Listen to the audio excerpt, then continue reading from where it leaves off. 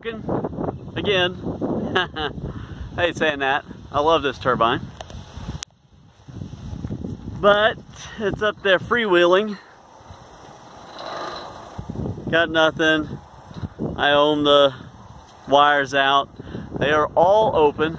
Got nothing coming down the line, which means that either my uh, slip ring's damaged, the whole thing burn up all at once, which seems unlikely.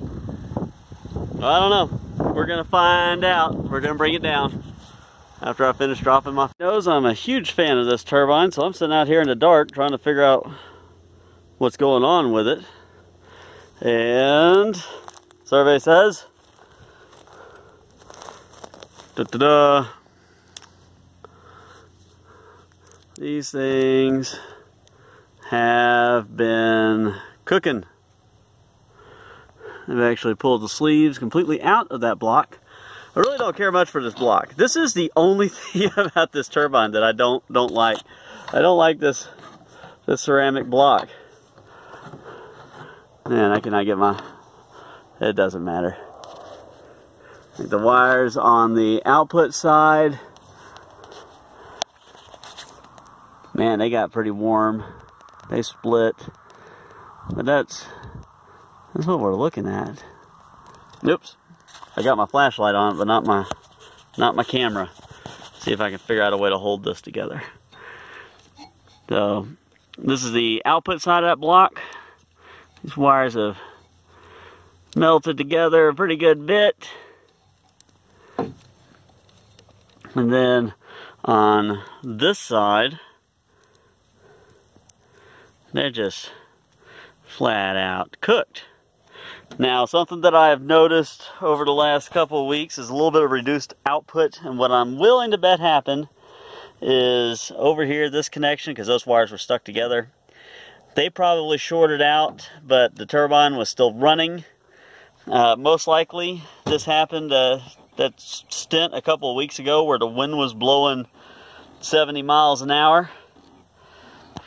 And, uh, it just progressively got worse and worse and worse. Luckily, easy fix. I do wish that this was number 10 going back here, at least number 10. Not this uh, little stuff. This is a little bit smaller than 10. But we'll be able to snip this apart back here. I'll just get rid of this block. I I I had misgivings about this block whenever I first got, when they're even completely missing a screw there. I had misgivings about this block whenever I first got it. Ran with it anyway because I wanted to see how it would run. And this is how it runs. But I guess there's this, since I've got it apart. Now this is the, uh, the rear of the nacelle. And there is definitely some dirt. And you can see, okay, like this direction going, I cannot point. That's what I want now. That's the bottom. okay.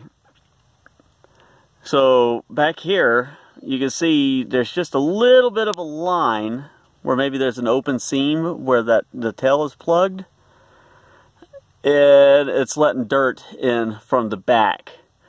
Uh, you can also see there's some rub marks there which I'm pretty sure that that is from uh, the wires, just kind of sitting on it. And there is a little bit of a grease mark going along the very bottom. It does look like a lot of the grease is leaked out of that bearing, but it, it does, well, it still turns pretty smooth. And I'm, I'm going to run it until it fails. So that's that's how that is. Mostly it looks dry. There's no watermarks. Uh, so nothing's gotten into it. The back of the motor itself, the generator, that bearing back there still looks super clean. It looks in good shape. It doesn't look like it's had very much dirt or dust or anything get up on it. Uh, my wires here that have been cooked, they've only been cooked back a couple inches, so they should be all right. Those are on the bottom, which are just set screws. I think they're just on the bottom. Yeah, they're just on the bottom.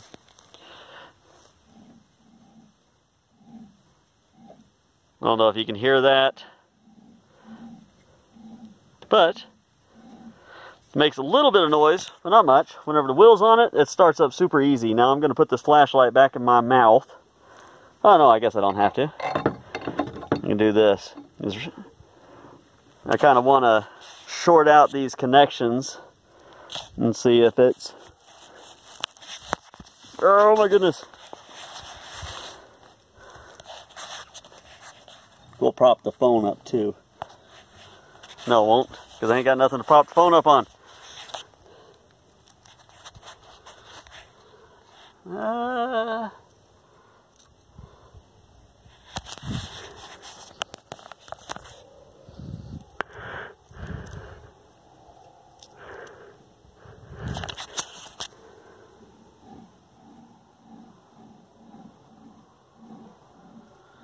Mm, no difference. Alright.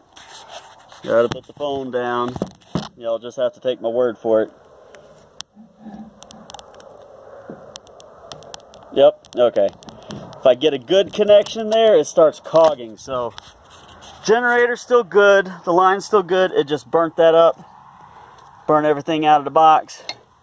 So, a little bit of repair work tomorrow, and we stand it back up should be good to go. Thanks for watching, guys. Have a wonderful evening, wonderful day. Be good, all that kind of good stuff. Good night.